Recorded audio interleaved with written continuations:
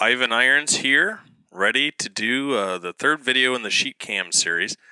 And in this one, we're really going to talk about G-code extensions, which is just really the file extension for the G-code, and then also setting up the machine.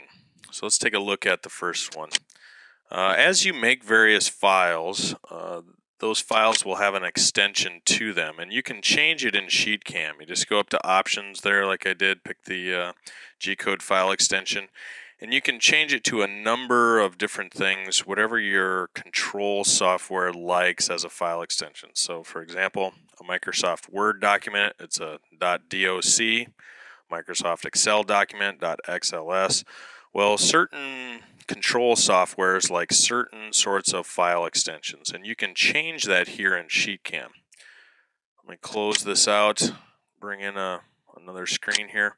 Here's an example of three different files that are all essentially the same, except for they have a different extension at the end. So this one's a .txt, this one's a .tap, and this one's a .nc. So very easy to change this in SheetCam. It's not a big deal.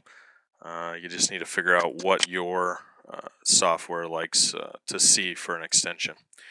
Here I just opened up that file. You'll see all the different uh, G codes here. This is uh, to cut out a fighter jet. Uh, this one just happens to be the TXT file. So just know that you can change that at will inside of SheetCam. Go to Options, G-code file extension, put dot whatever you want right here. So that's the first thing we're going to do in this video. The next one, we're going to talk about the machine and setting up the machine.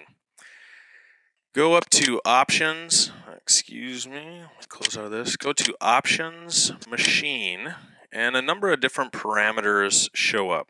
Now, SheetCam has no idea what your machine looks like.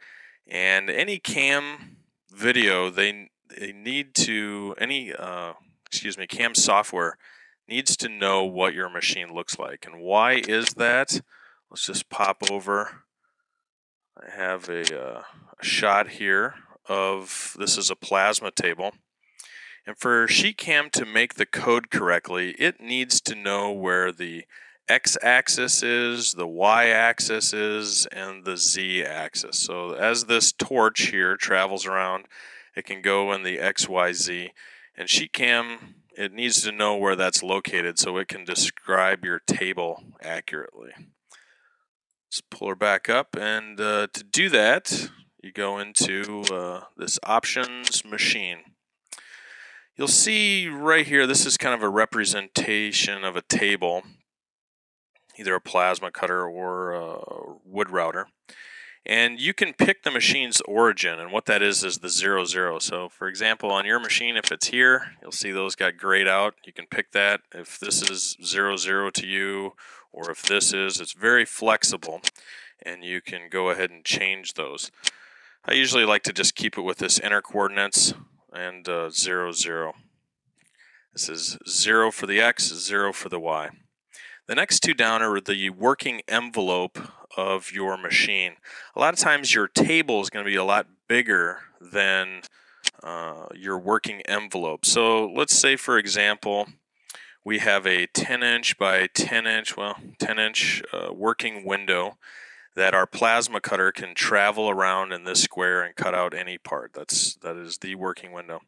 The next two down here are the coordinates for the table.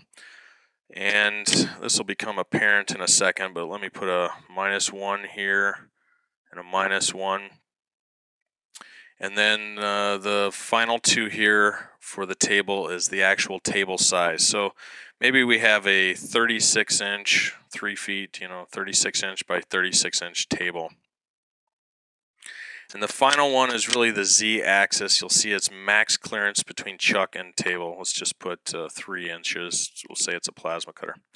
We'll click OK. We'll take a look at this. Um, this is, this overall square is our machine.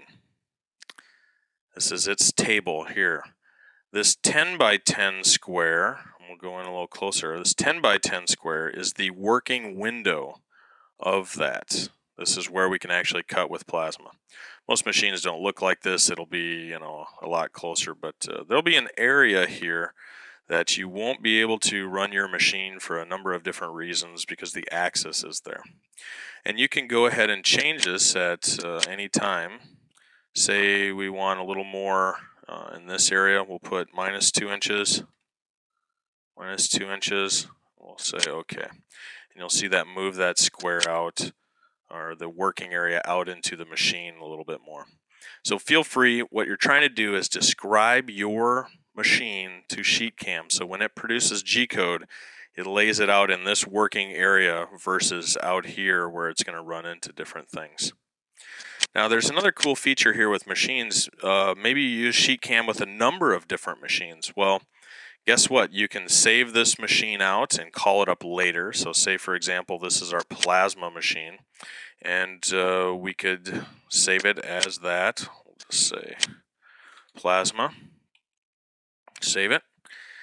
And uh, maybe we have a router, uh, wood router or something. That one's a little different. It's 24 inches by 24, and its uh, working envelope is uh, 20 by 20 and uh, we'll save this machine out as not our plasma but our router okay and right here this is our router well guess what? I want to start programming for my plasma cutter. I go in here I load machine I bring up the plasma. Okay and here we are back to our plasma cutting machine. So it's very flexible in that way. You can load multiple machines and uh, call them up at will. So those are the two things for video three, that G-code extension, and then really walking through and describing your machine to SheetCam. It needs to know where it can work, where it can travel. It needs to know what your reality looks like.